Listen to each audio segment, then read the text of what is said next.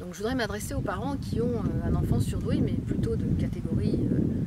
HPE. Euh, je dis catégorie, c'est pas du tout pour les mettre dans une case, mais c'est pour en parler plus rapidement. si vous avez un enfant surdoué qui fonctionne en mode émotionnel, j'aimerais vous le décrire d'une façon dont vous, vous le percevez, qui évidemment est, différent de ce que l'enfant lui vit. Euh, l'enfant surdoué euh, qui travaille mal à l'école, qui a été identifié comme euh, surdoué, ça peut vous choquer, ça en choque plus d'un,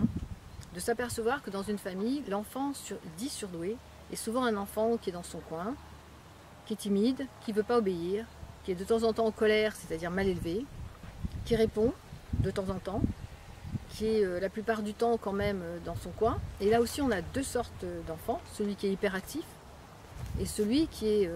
le contraire, c'est-à-dire extrêmement timide et qui de ce fait, pour s'exprimer, aura tendance à crier, aura tendance à élever la voix parce qu'il a besoin d'être entendu. Être entendu, ça veut dire compris et qu'on lui réponde.